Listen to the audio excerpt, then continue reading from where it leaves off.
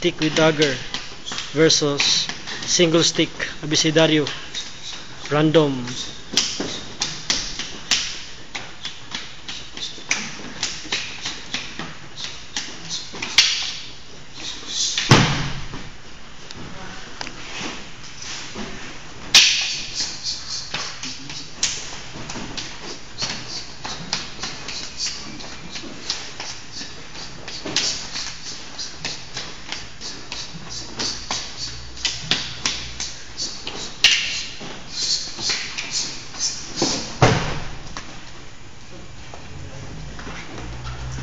Let's go.